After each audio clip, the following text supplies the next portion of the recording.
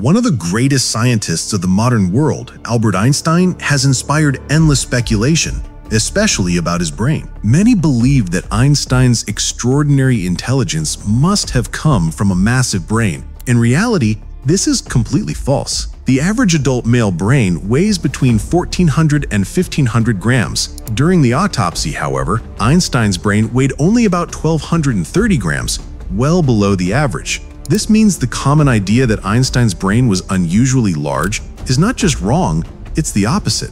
It's also important to note that a larger brain doesn't automatically mean higher intelligence. For example, the blue whale has a much larger brain than humans, but it is not more intelligent. However, while Einstein's brain was slightly smaller than average, certain regions had structural differences that set it apart. For instance, in most people, the lateral sulcus, or sylvian fissure, is partially covered by a fold called the parietal operculum.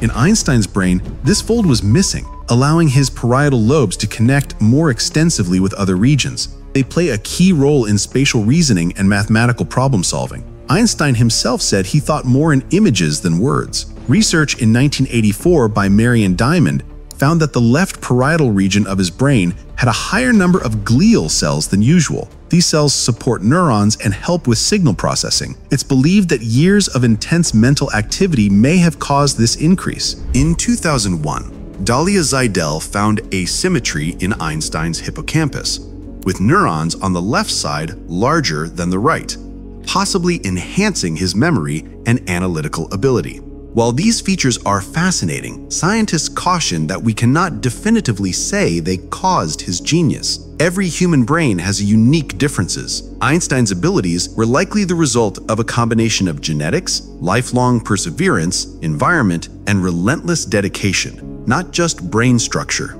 After his death in 1955, a long mystery began around Einstein's brain. Thomas Harvey the pathologist responsible for the autopsy at Princeton Hospital, secretly removed the brain without permission. It was later cut into roughly 240 pieces, with some sent to neuroscientists around the world for research. Einstein's son, Hans Albert, later consented to scientific study under certain conditions.